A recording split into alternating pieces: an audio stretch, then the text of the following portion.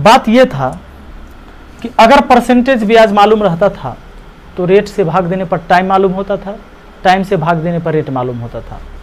और गुन्ना गुन्नी वाला सवाल था, जिसमें हम एक डाटा आपको याद करवाए थे। डाटा हमारा ये था दोस्तों, डाटा ये था कि कोई धन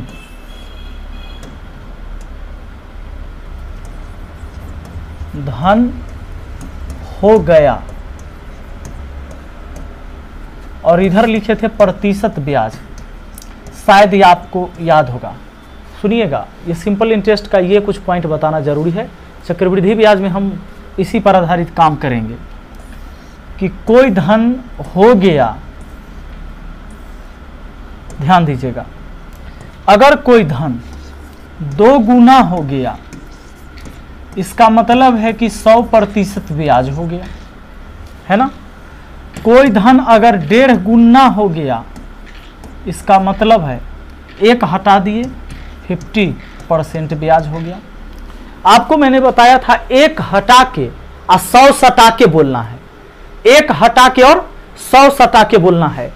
जैसे कोई धन अगर ढाई गुना हो गया इसमें एक हटा दीजिएगा, डेढ़ बचेगा। तो डेढ़ नहीं बोलना है, डेढ़ सौ प्रतिशत बोलना है, डेढ़ सौ प्रतिशत बोलना है। अगर साढ़े तीन गुना हो रहा है तो साढ़े तीन में एक हटा दीजिए, ढाई सौ प्रतिशत ब्याज होगा। अगर कोई धन चार गुना हो रहा है तो मुझे उम्मीद है कि आपको ये पता हो गया कि 300 परसेंट ब्याज हो जाएगा। ये चीज़ें मैंने आपको साधारण ब्याज में बताया था। आप सोचिए ना, कोई धन दुगना होने का मतलब अगर एक सौ रुपया आप लगाते हैं मूलधन और दुगना हो गया मतलब दो सौ हो गया मिश्र धन तो ब्याज कितना आया भैया? एक सौ रुपया दो सौ होने के लिए ब्याज आ गया सौ रुपया। ये सौ रुपया कितना प्रतिशत है? तो सौ रुपया ब्याज आया है सौ रुपया मूलधन पर। प्रतिशत के लिए सौ प्रतिशत से गुना।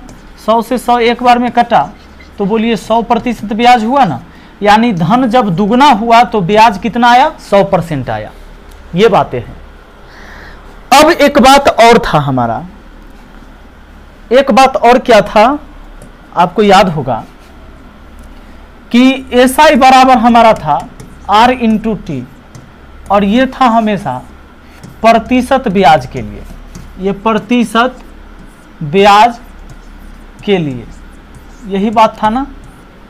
मैंने आपको बताया था कि अगर रेट पाँच प्रतिशत हो और टाइम तीन बरस हो तो आपको पता है कि परसेंटेज ब्याज क्या होता है? पाँच तीन पंद्रह प्रतिशत। ये सारी चीज़ें पर हम चर्चा कर चुके थे पिछले क्लास में। दोस्तों,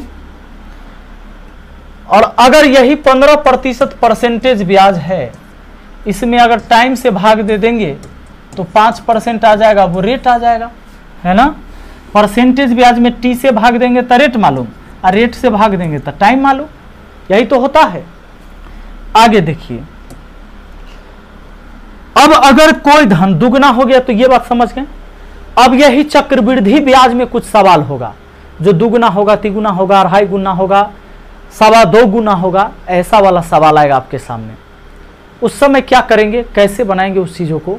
ज़रा समझने का प्रयास करिएगा। और आसानी से आपको समझ में आएगा ही जब मैं समझा रहा हूँ तो। आइए, हमारे चक्रवृद्धि ब्याज में अच्छा इस चक्रवृद्धि ब्याज से पहले हम आपको एक साधारण ब्याज का सवाल कर लेते हैं। इसलिए, अगर मान लीजिए ऐसे कहता है कि पाँच वर्ष में, पाँच वर्ष में साधारण ब्याज पर, साधारण ब्याज की दर से कोई धन कोई धन अपनी डेढ़ गुनी हो जाती है। डेढ़ गुनी हो जाती है, हो जाती है तो प्रतिशत ब्याज सॉरी यहाँ पर प्रतिशत ब्याज नहीं कहेंगे।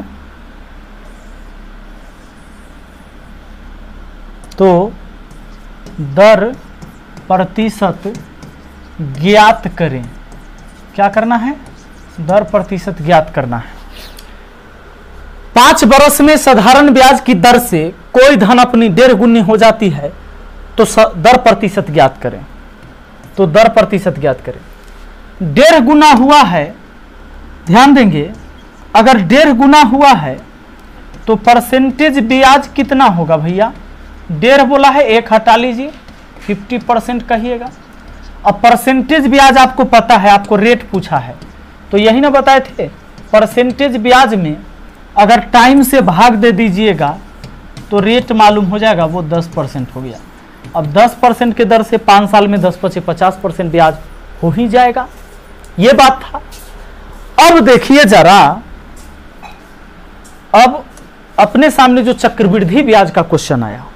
क्वेश्चन क्या कहता है? देखिए सबसे पहला।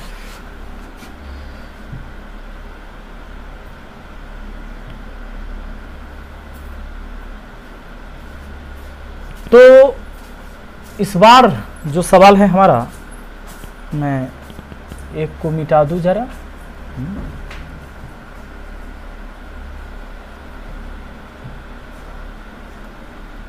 आपको दिख रहा होगा अच्छे से? हुँ? बहुत अच्छा। सवाल है, पहला, कहता है एक निश्चित धनराशि दो बरस में अपने का दो दशमलव दो पाँच गुना हो जाता है। यदि चक्रवृद्धि ब्याज वार्षिक संयोजित होती तो ब्याज की दर ज्ञात करें। चक्रवृद्धि ब्याज का सवाल है। जब भी ऐसा हो ना, कि आपसे ये कहे, आपसे ये कहे कि दो साल में हुआ, डेढ़ साल में हुआ, तीन साल में हुआ, ये आपको देखना है। दो वर्ष में हुआ आपको दिया है दो वर्ष में, कितना जानते हैं? दो वर्ष में दो दशमलव दो पाँच गुना, ठीक है? तो अगर आप चाहते हैं कि एक बरस का क्या होगा तो एक बरस का जो, वो धन हो जाएगा, एक निश्चित राशि से दो बरस में अपने का दो दशमलव दो पाँच गुना हो गया। यानी अगर एक सौ रुपया रहा होगा तो सवा दो सौ हो गया। ये मिश्र धन हो गया है। इतना गुना हो गया। इसको आपको क्या लिखना है? दो दशमलव दो पाँच है ना? दो साल में हुआ है तब पावर वन बाई टू तीन साल में हो तो पावर वन बाई थ्री चार साल में हो तो पावर वन बाई फोर पाँच साल में हो तो पावर वन बाई फाइव ठीक है? बस। अब ये हो गया आपका पंद्रह, यानी और बीच में दशमलव, यानी एक दशमलव पाँच। 225 के वर्गमूल 15 दो अंक बाद दशमलव अब एक। यानी कि वो एक साल बाद डेढ़ गुना रहा होगा। तो एक साल बाद अगर डेढ़ गुना रहा होगा तो आप बताइए कि कोई धन अगर डेढ़ गुना हो जाए, ये एक साल का निकल गया। और याद रहे, एक साल का साधारण ब्याज और चक्रवृद्धि ब्याज समान होता है। अगर एक बरस का निकल गया, तभी साधारण ब्याज के नियम पर है। तो डेढ़ गुना होने का मतलब है कि ब्याज कितना होना? 50 परसेंट होना, यानी एक ये हो गया 50 परसेंट ओ थोड़ा सा कीड़ा है जो परेशान कर रहा है।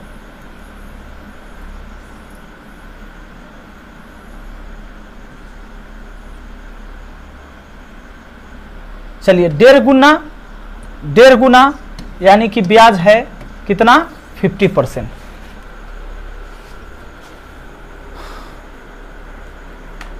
और दोस्तों, इस बात को याद रखना है कि एक बरस का ये परसेंटेज ब्याज दर के बराबर ही होता है। आपको हम ये सारी चीज़ें बता रखे हैं कि एक बरस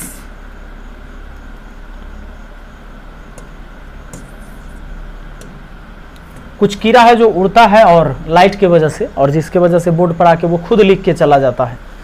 खर्च हम किए हैं, लिखता वो है।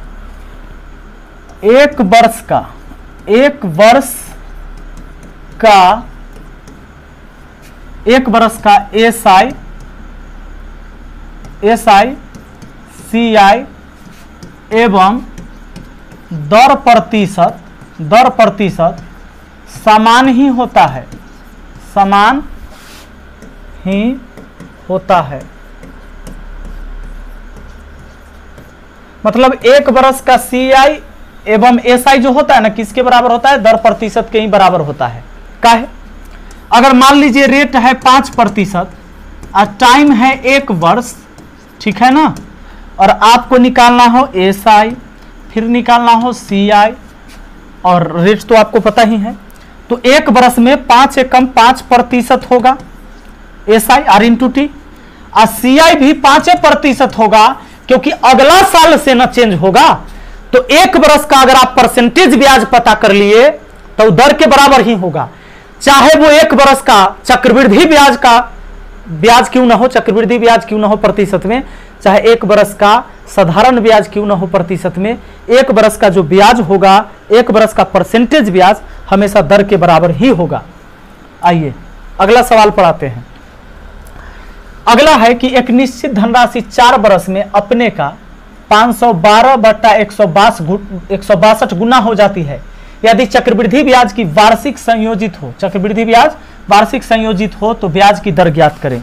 आइए तो इस सवाल में हमारा जो है क्वेश्चन दिया हुआ है और ये क्वेश्चन भी बहुत प्यारा सा क्वेश्चन है। दोस्तों, एक निश्चित धनराशि चार बरस में अपने का 512 बट्टा एक सौ बासठ हो जाता है। कितने साल में? चार साल में। अच्छा ऐसा डाटा यहाँ पर ज़रूर रहेगा जो डाटा आगे हल हो सकता है। ये चार साल में, चार साल में कितना हो गया है? 512 बट्टा एक सौ बासठ। इसका यह मतलब है कि यह मूलधन है सॉरी ऊपर मिश्र धन और नीचे मूलधन है। यानी एक सौ बासठ रुपया था, वो 512 हो गया। अच्छा इसको काटते हैं तो आधा ऊपर हो जाएगा 512 का आधा, दो सौ छप्पन, एक सौ बासठ का आधा हो जाएगा इक्यासी। ऐसे भी लिख सकते हैं। ये चार साल का दो सौ छप्पन बटा इक्यासी है। अगर आप चाहते हैं केवल एक साल का निकालना तो याद रखिएगा, ये दो सौ छप्पन बट्टा इक्यासी है ना, और ये कितने दिन का है? चार साल का। तो पावर वन बाई फोर लिखिएगा। ए, वन बाई फोर, तीन साल है तो वन बाई थ्री, एक साल में लाना है तो। और पाँच साल का है तो वन बाई फाइव। सुनिए, अब ये दो सौ छप्पन, चार के पावर चार होता है तीन के पावर चार होता है। यानी चार बट्टा तीन आ जाएगा। क्योंकि चार बट्टा तीन, चार बट्टा तीन, चार बट्टा तीन, चार बार होगा, तब हो जाएगा। दो सौ छप्पन नहीं समझे? यानी वर्गमूल के वर्गमूल बनेगा। एक बट्टा चार का मतलब वर्गमूल के वर्गमूल। तो दो सौ छप्पन का वर्गमूल सोलह, और उसका वर्गमूल चार। वन बाई फोर का मतलब है वन बाई टू गुना वन बाई टू। यानी एक बार वर्गमूल, और फिर वर्गमूल। ये देख लीजिए यहाँ पर। अगर आपको हम दिखाना चाहें तो देखिए, दो सौ छप्पन है अब बट्टा इक्यासी है। और इसका पावर वन बाई फोर है। तो वन बाई फोर ठीक। चाहो तो आप इसको यहाँ वन बाई टू आप फिर वन बाई टू लिख सकते हो। ऐसे, ये हो जाएगा one by two one by two गुना होकर वन बाई फोर अब दो सौ छप्पन का आएगा सोलह, इक्यासी का आएगा नौ। और एगो तो पावर वन बाई टू बचा है। और फिर सोलह का आएगा चार और नौ का आएगा तीन। ये बात है। अब देखिए, एक साल का आ गया चार बट्टा तीन भाग। अब चार बट्टा तीन भाग, ये हो गया धन, चार बट्टा तीन। अब चार बट्टा तीन का क्या मतलब है जानते हैं? ये चार बट्टा तीन का मतलब है कि चार मिश्र धन एक साल का तो मूलधन तीन था। तब ब्याज कितना हुआ? एक। मूलधन तीन, मिश्र धन चार। तो ब्याज एक, कितना पर? तीन पर। और सौ से गुना कर दीजिए, आ जाएगा प्रतिशत में। यानी कि हो जाएगा तैतीस दशमलव तीन तीन प्रतिशत। लीजिए, ये हो गया हमारा। और ये हुआ एक साल का परसेंटेज ब्याज। सुनिए। एक साल का परसेंटेज ब्याज दर के बराबर ही होता है। चाहे वो चक्रवृद्धि ब्याज हो, चाहे साधारण ब्याज। बार बार मैं यही चिल्ला चिल्ला कर बोल रहा हूँ। आइए, अगला सवाल पर चलते हैं। अगला सवाल है हमारा, और देखिए, इसको भी बुला लेते हैं यहाँ पर। और देखिए, क्वेश्चन आपके सामने। कहता है एक निश्चित धनराशि एक वर्ष में अपने का 625 बट्टा दो सौ छप्पन गुना हो जाती है। यदि चक्रवृद्धि ब्याज तिमाही संयोजित हो तो ब्याज की दर ज्ञात करिए। दोस्तों थोड़ा सा सवाल अब चेंजिंग हो गया। तिमाही का चर्चा हो गया। तो एक चीज़ हम आपको पहले पढ़ाना चाहेंगे। इस सवाल को अभी नज़रअंदाज कीजिए आप। चाहे तो हम एक ब्लैंक पेज ले लेते हैं, ठीक है? क्योंकि ये तिमाही, पचमाही अठमाही नौमाही वाला सवाल होगा ना? यानी संयोजन वाला सवाल आ जाएगा। कैसा आ जाएगा? संयोजन।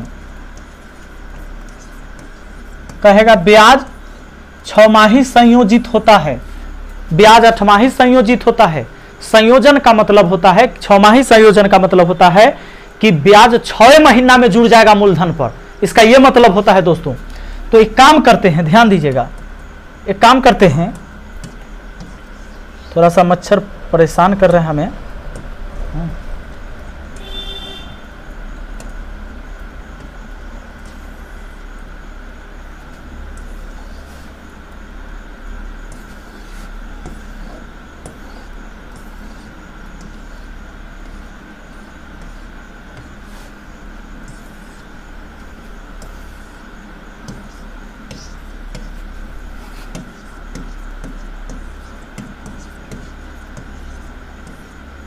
तो जब ब्याज ब्याज जब भी संयोजन वाला आ जाए, सवाल संयोजन वाला, और कहेगा कि छह माही ब्याज संयोजित तो होता है, तीन माही तीन माही संयोजित होता है पचमाही संयोजित होता है, चार माही संयोजित होता है, ऐसा बोलेगा सतमाही संयोजित होता है, ऐसा जब भी आ जाएगा ना तब क्या करना है सुन लीजिए। सवाल को बनाते टाइम, रेट और टाइम पर ध्यान आपको देना है।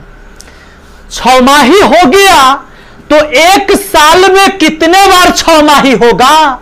दो बार। तो रेट में कर देना दू से भाग और टाइम में कर देना दू से गुना, तब बनाना सवाल। अगर मान लो कोई सवाल में रेट आपको 10 परसेंट दे रहा है, टाइम आपको एक वर्ष दे रहा है और कहता है कि ब्याज छमाही संयोजित है ब्याज छमाही संयोजित है तो क्या करना? रेट में दो से भाग कर देना पाँच परसेंट, और टाइम में दो से गुना कर देना, क्योंकि छमाही साल भर में दो बार होगा। अब ये दो वर्ष। और सवाल बनाइएगा इसको लेके, दो वर्ष को लेके और पाँच परसेंट को लेके। समझिएगा कि हमारा पाँच परसेंट वार्षिक चलेगा और दो वर्ष के लिए चलेगा। ऐसे बनाना है सवाल। ठीक है? आइए। अच्छा दो कहाँ से सॉरी सॉरी ये गलत हो गया। दो से गुना करना है, टाइम में दो से गुना, रेट में दो से भाग। ध्यान दीजिएगा। अच्छा एक बात एक बात एक बात। आप ये दो कहाँ से आया? तो देखिए, बारह महीना होता है छ माही कई बार था छ से भाग दिए। तो बारह को छ से काट दिए, दो आया, इसलिए भाग दो से और टाइम में दो से गुना। तीन माही है तो तीन माही सीधा सीधा आप जानते हैं ना कि चार बार होगा। बारह में तीन से भाग देंगे तो चार। तो भाग दे देना है चार से रेट में और गुना करना है चार से। टाइम में रुक जाइए पचमाही तो पचमाही कई बार? ये पूरा पूरा तो नहीं आएगा, क्योंकि बारह को जब पाँच से काटेंगे तो कितना बार? नहीं पता। पूरा पूरा नहीं आ रहा है। तो भाग लगा देंगे बारह बट्टा पाँच से। और गुना भी कर लेंगे बारह बट्टा पाँच से। अब जो नया रेट और टाइम आएगा, उससे सवाल बनाएँगे। चारमाही तो चारमाही पूरा पूरा पता हो जाएगा हमको, क्योंकि बारह में चार से भाग देंगे तो तीन आएगा। पूरा कट रहा है। यानी कि तीन से रेट में भाग होगा और गुना होगा तीन से टाइम में। सातमाही तो सीधा बारह बट्टा सात से भाग होगा और गुना होगा बारह बट्टा सात से। इस बात को आपको याद रखना है, ठीक है? आइए। चलिए।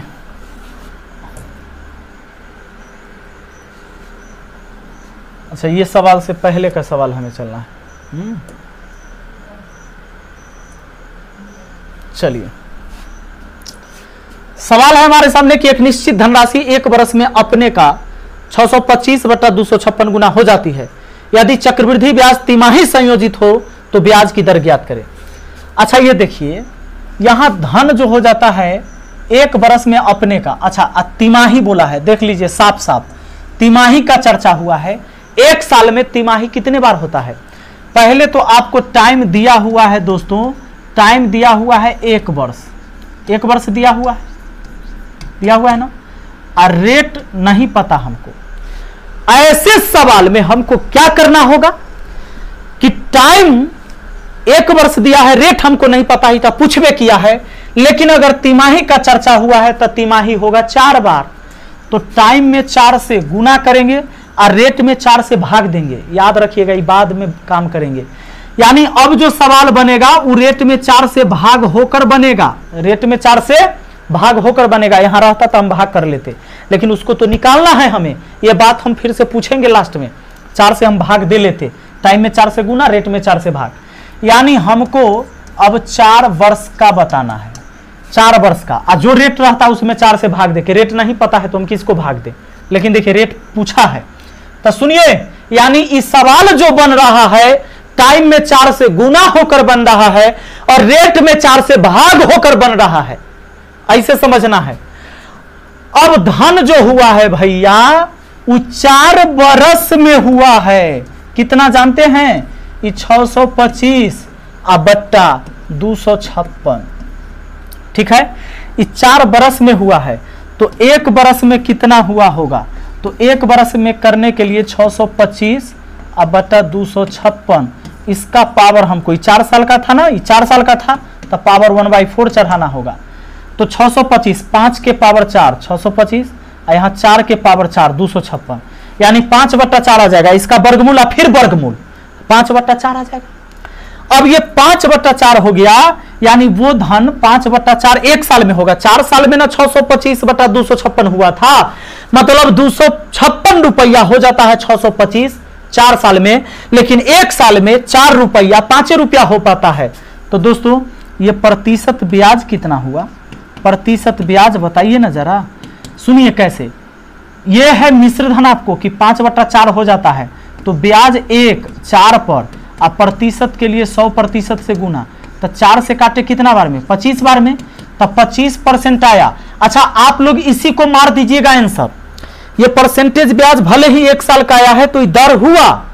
इधर हुआ, लेकिन इस सवाल का कंडीशन था कि टाइम में पहले भाग हो टाइम में गुना हुआ है चार से, और रेट में भाग हुआ है चार से तो चार से भाग होने के बाद ही हुआ है पाँच पच्चीस परसेंट इधर हुआ, क्योंकि एक साल का परसेंटेज ब्याज दरे के बराबर ना, कई बार बता चुके हैं। तो एक बरस का ही निकल के आया परसेंटेज ब्याज इधर के बराबर हुआ, लेकिन पहले तो टाइम में चार से भाग हुआ रेट में सॉरी टाइम में चार से गुना और रेट में चार से भाग। तो भाग होने के बाद पच्चीस हुआ तो अगर रियल पता करना है तो वो रेट होगा जब एक में चार से गुना करिएगा, यानी पच्चीस चौका सौ परसेंट रहेगा तब। यानी कि सौ परसेंट रहेगा, तब जाके दो सौ छप्पन रुपया, छह सौ पच्चीस रुपया हो जाएगा। ठीक है? चलिए, अब बढ़ते हैं आगे।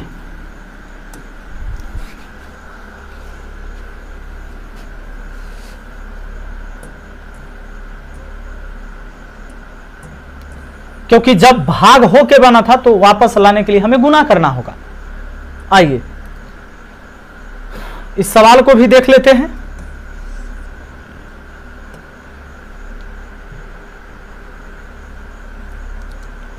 क्या कहता है? सवाल का कहना है, सैतालीस सौ चार रुपए का धन दो बरस में संतावन सौ छियासठ रुपया हो जाता है। चक्रवृद्धि ब्याज की दर ज्ञात करें। अच्छा ये दो साल में हुआ है? इतना रुपया का धन दो बरस में इतना हो जाता है। ये मूलधन है, ये मिश्र धन है। तो हम लिखेंगे कि दो बरस में कितना हो जाता है? ई धन हो गया इतना। यानी संतावन सौ छियासठ अब हो गया है। पहले कितना था? सैतालीस सौ चार ही था। ठीक है? ये दो साल में। तो दोस्तों, अब इसको अगर हम काटते हैं तो कट जाएगा हमारा, चूँकि सात चार ग्यारह ग्यारह चार। सात चार ग्यारह चार पंद्रह। छः छः बारह बारह सात उन्नीस। उन्नीस आ पाँच चौबीस। तीन से कट जाएगा। तीन से उन्नीस तेईस संतान, संतावन, तीन दूना छः, तीन दूना छः। तीन से उन्नीस तेईस संतावन, तीन दूना छः, तीन दूना छः। अब इसको काटते हैं तो तीन से कटेगा पंद्रह तियाई पैंतालीस शेष दो दो पर ज़ीरो बीस, तीन छके अट्ठारह शेष दो, तीन अठे चौबीस। और कट जाएगा हमारा, दो से कट जाएगा। तो दो सत्य चौदह, दो अट्ठे सोलह, दो चौके आठ। इसको अगर हम काटते हैं दो से तो दो नमा अट्ठारह, दो नमा अठारह दो छक्के बारह, दो एकम दो। दोस्तों, यानी ये जो हमारा हो गया ना, ये नौ सौ इकसठ बट्टा कितना हो गया? सात सौ चौरासी। इसको काट के इतना हुआ। यानी दो साल में नौ सौ इकसठ बट्टा सात सौ चौरासी हो जाएगा। यानी कि अगर सात सौ चौरासी रहेगा तो नौ सौ इकसठ हो जाएगा। जैसे सैंतालीस सौ चार हो गया संतावन सौ छियासठ, यानी कि सैंतालीस सौ चार रहता तो संतावन सौ छियासठ होता। अगर सात सौ चौरासी रहता तो नौ सौ इकसठ होता। ये दो साल में इसका ये मतलब हुआ। तो अगर हम एक साल का निकालना चाहें तो ये नौ सौ इकसठ बट्टा सात सौ चौरासी है। ये दो साल का ना है तो पावर वन बाई टू बोले हैं करना है। नौ सौ इकसठ होता है इकतीस, नौ सौ इकसठ का वर्गमूल इकतीस और सात सौ चौरासी का हो जाता है अट्ठाईस। अब आपको सोचना है कि इकतीस है मिश्र धन, अट्ठाईस है मूलधन तो भैया ब्याज कितना हुआ? तो हम प्रतिशत ब्याज निकाल रहे हैं एक साल का, क्योंकि एक साल में कन्वर्ट हो गया है और एक साल का परसेंटेज ब्याज दर ही होता है। तो ब्याज हुआ तीन, कितना पर? अट्ठाईस पर। अब प्रतिशत के लिए सौ प्रतिशत से गुना। चार से काटे हम तो चार सत्य अट्ठाईस चार से काटा पच्चीस बार में पच्चीस तिहाई, पचहत्तर बट्टा सात। भाग लगा सकते हैं। ये भाग लग जाएगा सात एकम, ये चौदह। हम्म आठ सत्य छप्पन, नौ सत्य तिरसठ, दस सत्य सत्तर। दस पूर्णांक पाँच बट्टा सात। दस पूर्णांक पाँच बट्टा सात प्रतिशत। ठीक है? दस पच्चे, दस सत्य सत्तर, और पाँच पचहत्तर। अगला सवाल आते हैं। आइए दोस्तों, एक सवाल और देख लेते हैं। सवाल है कि तीन लाख पैंतालीस हज़ार छह सौ रुपया का धन तीन वर्ष में चार लाख उनचालीस हज़ार चार सौ रुपये हो जाता है तो चक्रवृद्धि ब्याज की दर ज्ञात करिए। ठीक है? चलिए, बहुत अच्छा सवाल है, क्योंकि तीन साल में बोला है कितना हो जाता है? इतना हो जाता है ये वाला धन। तो मिश्र धन ऊपर लिख लेंगे कि तैतालीस यानी चार लाख उनचालीस हज़ार चार सौ रुपया हो जाता है। कितना धन? तीन लाख पैंतालीस हज़ार छः सौ रुपया धन। ठीक है? अब हम इसका दो ज़ीरो से दो ज़ीरो काट दिए। और अगर दो से काट देते हैं तो भैया इस सत्रह और छप्पन के आधा अट्ठाईस। अगर इसको दो से काट देते हैं तो दो दूना चार, दो एकम दो, और दो नमा अट्ठारह दो सते चौदह। ठीक है? तीन साल में हो गया है इक्कीस सौ संतानवे और बट्टा सत्रह सौ अट्ठाईस। मतलब तीन साल में ये कह सकते रेशियो कि सत्रह सौ अट्ठाईस अगर धन रहता तो वो इक्कीस हो जाता। ठीक बात है? बीच बीच में ये कीड़ा आज बहुत परेशान कर रहा है मुझे। चलिए, अब ध्यान दीजिएगा तो एक साल का वन ईयर का निकालने के लिए हमें क्या करना होगा? वही, इक्कीस सौ संतानवे बट्टा, सत्रह सौ अट्ठाईस है ना? कितने दिन का है? तीन साल का। तब पावर वन बाई थ्री करेंगे। वन बाई थ्री करेंगे। तो इक्कीस सौ संतानवे तेरह का क्यों होता है? थोड़ा स्क्वायर क्यों याद कर लीजिएगा। और सत्रह सौ अट्ठाईस बारह का होता है। यानी कि वो धन एक साल में अगर बारह रुपया होता तो तेरह रुपया हो जाता। तो बताइए, अगर हम परसेंटेज ब्याज निकाल ले एक साल का तो उधरे के बराबर होगा ना? तेरह रुपया हो जाता है बारह रुपया। तब ब्याज एक रुपया देता है। कितना पर? बारह पर।